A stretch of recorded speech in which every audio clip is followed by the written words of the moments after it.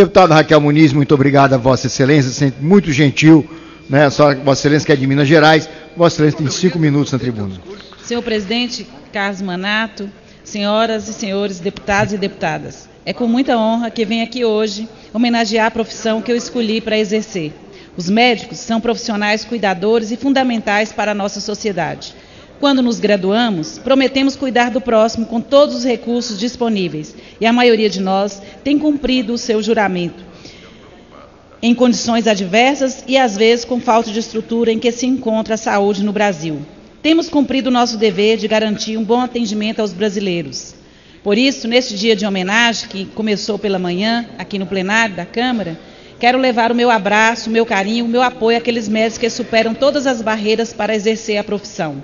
Aqui na Câmara, temos trabalhado para a valorização dos médicos. Um dos exemplos foi a aprovação do projeto de lei 8.140, cujo autor é o deputado médico Mandetta, que determina o uso do termo médico nos diplomas de profissionais que se formam em medicina e que eu tive o orgulho de ser a relatora deste projeto, como forma de evitar ambiguidades e deixar registrado verdadeiramente o que somos porque o termo médico já traz em si a essência da nossa profissão.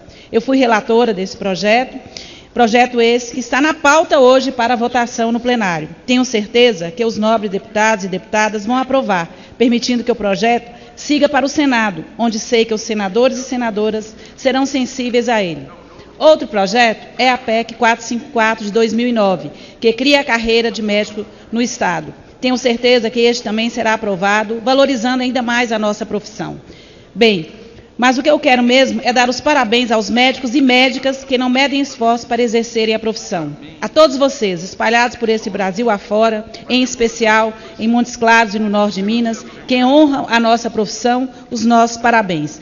Quero também aproveitar para fazer um balanço das obras do prefeito Rui em Montes Claros e dizer para a população para ficar tranquila. A El Moraes, a grande empresa que está fazendo o asfaltamento da nossa cidade, que efetivamente agora nós conseguimos uma grande empresa para fornecer a brita. Tentaram fechar as pequenas empresas, enfim, paralisaram as obras de asfaltamento da nossa cidade. Mas agora conseguimos reativar e a El Moraes vai voltar com toda força. A licitação na prefeitura já está aberta para que as empresas possam participar e efetivamente a gente entregar à nossa população aquilo que eles ficaram em alguns bairros por mais de 20 anos sem ver o asfalto. E agora nós temos certeza que os compromissos feitos em campanha serão cumpridos. Quero lembrar também que estive esse final de semana é, no Pará, junto com a comissão dos maus tratos dos animais da nossa CPI, levando para as pessoas do Pará a nossa presença e também da Comissão do Meio Ambiente, naquele naufrágio que houve com os mais de 5 mil bois. E ali, pasmem, me deparei com um grande rio, diferente do nosso é, minguado São Francisco. E lá a gente perceber que mesmo com toda aquela água, a água está contaminada, não só pelos bois que naufragaram, mas também é, pelo óleo do navio, e mais, pelas indústrias instaladas ali que estão deixando depósito e depósito de alumínio e outros metais naquele importante rio. Por isso, eu quero conclamar a todos, já que o Brasil, não só meu estado, Minas Gerais, São Paulo, enfim, e, e agora o Pará, mesmo com a água, está sofrendo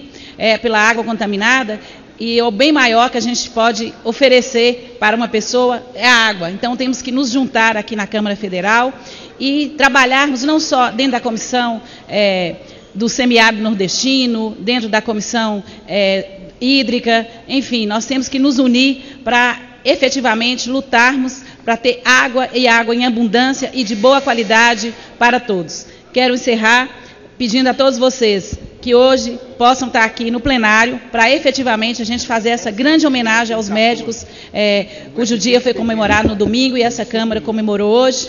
E quero parabenizar sim, um grande médico do norte de Minas, um grande gestor que está melhorando muito a nossa saúde também na cidade de Montes Claros, né, o professor e médico Rui Muniz. Muito obrigada, senhor presidente.